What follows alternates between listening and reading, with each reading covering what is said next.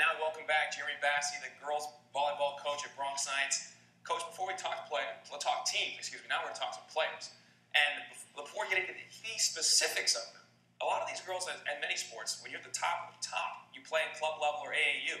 So a lot of these girls are playing with each other as teammates and on the club level. How does that relationship change, or what goes on with that relationship dynamic when now they're against each other, their opponents? They love to play against each other in the regular season. There's a lot of pride to be uh, won and lost in these games. So if we're at a tournament and your club teammate was on the team, they really want to get after it. It's very personal. Absolutely. Familiarity breeds contempt, as we all know in sports. We are just killing these trite phrases today, by the way. But anyway, we're going to talk about your, your team, we said earlier, had a lot of talent coming back. Who's made the biggest strides over the offseason? Who's really made a jump? I think Mary Plett's ready to have a monster season. It's her fourth year on the team, fourth year getting some playing time in the starting lineup. But I think this year she's really ready to lead this team.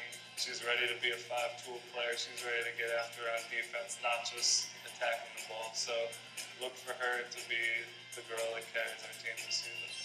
Interesting, interesting. Alyssa Shiau, your version of Magic Johnson, will say, you said this past weekend she was very versatile. Talk about what she brought to the team this past weekend in a tournament.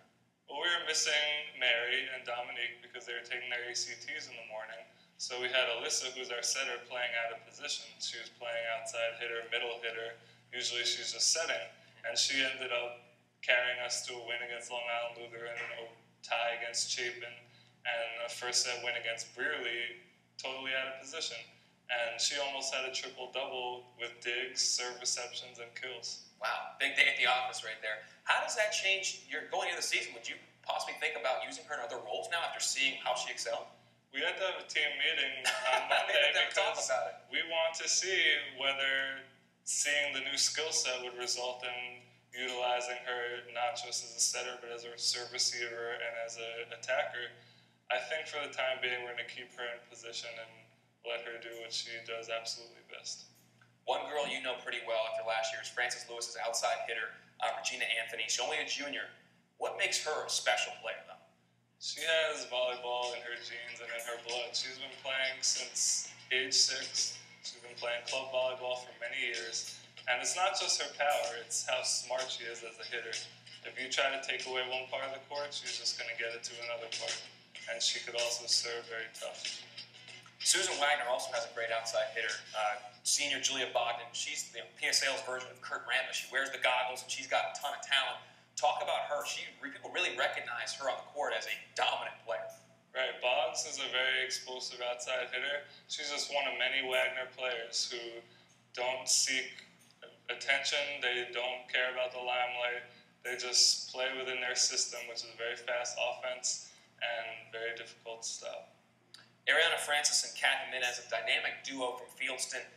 They're very talented. How do you combat teams when they are able to put people on there that are two different players, different parts of the court that are that good? Right. The thing is, there's no weak rotation when you have two players that are opposite because one's always in the front and one always in the back. Always in the back. So when that happens, you're looking at the firepower every rotation, and they're also able to side out easily because they can pass and they can hit What's that do for your team mentally? Does that wear them down a little bit? That they, they just you said there is no weak rotation. There's no time where you feel like you're still at the upper hand. Yeah, there's a mental edge there because if you're if you see that a team has a weak rotation, you're going to push points when the team is in that rotation. But if you see that they're strong all six rotations, there's really no daylight to make a big run and try to put the game away. Mary Claire Bartlett from Brearley is known for her absolute power. How do you slow down someone that can really just stroke the ball so hard?